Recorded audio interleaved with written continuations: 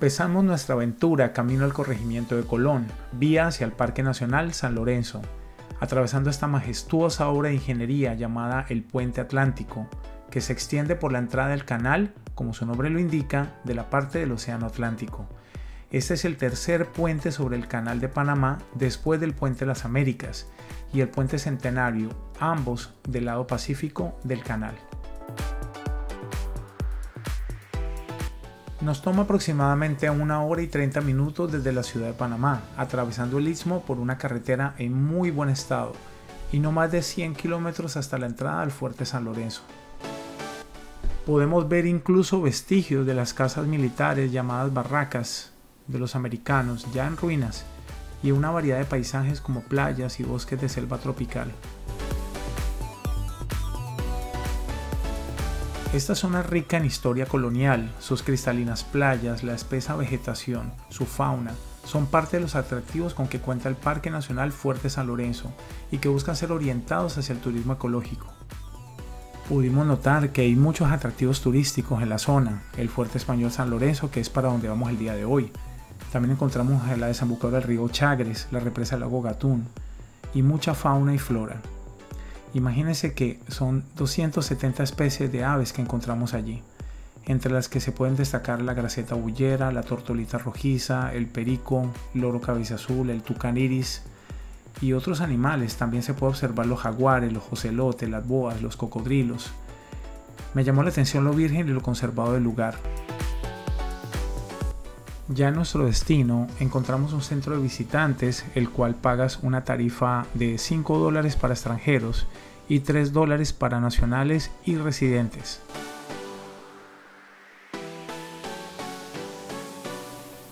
Los restos del fuerte San Lorenzo son una de las más antiguas fortalezas españolas de América. Está localizado sobre un acantilado próximo a lo que fue el viejo asiento del pueblo de Chagres, en la desembocadura del río del mismo nombre y fue a través de este río que el pirata Henry Morgan llegó a la ciudad de Panamá la Vieja para saquearla.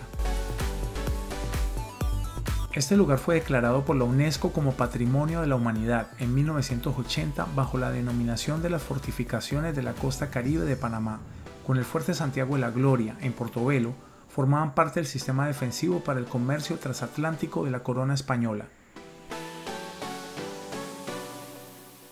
Como le mencioné en el video anterior de Panamá la Vieja, los ataques de Francis Drake en las costas del Reino de Tierra Firme en 1572, especialmente los ataques contra el nombre de Dios y el Camino Real, que era el camino por donde transitaban los tesoros que venían del Perú, obligaron a construir un sistema de defensa en los puertos del Atlántico, así que se decidió construir el fuerte de San Lorenzo para proteger la entrada de la vía fluvial que penetraba cerca de la antigua ciudad de Panamá.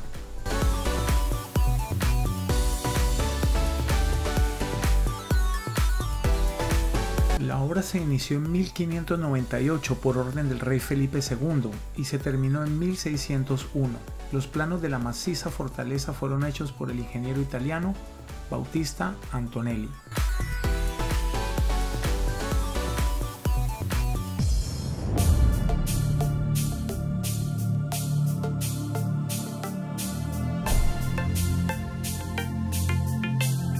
El castillo San Lorenzo se erigió en la cima de un alto arrecife, en posición que domina completamente la entrada del río Chagres.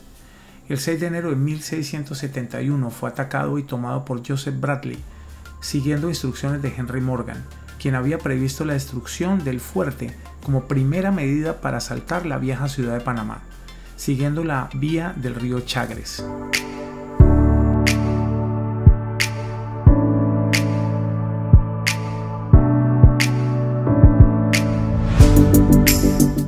Hecho de que el pirata Bradley no atacara por mar, sino que desembarcara con sus 400 hombres en un pequeño puerto cercano al castillo y acometiera por tierra, revela que los cálculos del ingeniero Antonelli eran acertados al considerar el alto acantilado como lugar casi inviolable. Después de visitar el fuerte, pudimos llegar a un muelle en toda la desembocadura del río Chagres, y ver actividad turística para avistamiento de aves, visitas a las comunidades indígenas, entre otras rutas de interés.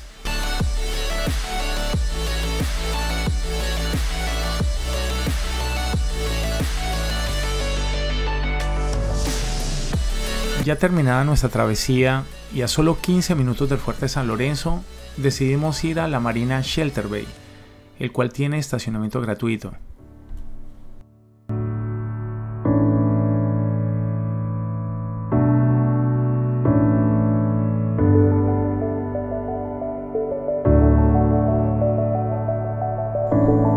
Pareció el ambiente relajante y diferente, perfecto para disfrutar en familia.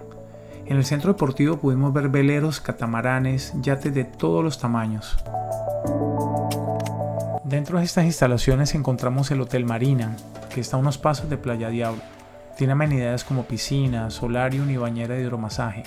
También cuenta con biblioteca, balcón con vistas al canal, gimnasio y un pequeño supermercado.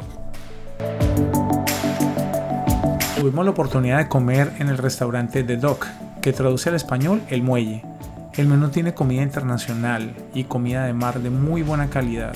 La atención es muy buena es una lástima que este hermoso lugar en nuestro querido Panamá no sea muy conocido o hayan escuchado de él, por lo cual los exhorto a que hagamos más turismo interno, apoyemos al comercio local, comer bien y mientras disfrutas de su relajante vista.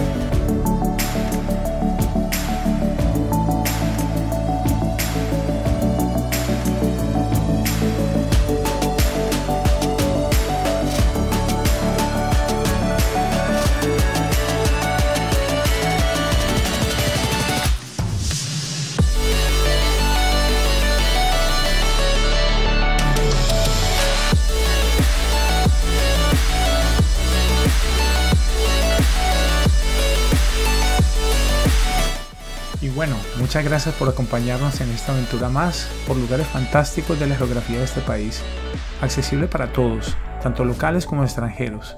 Seguiremos visitando lugares y documentando todo para que el mundo conozca más de esta hermosa tierra llamada Panamá.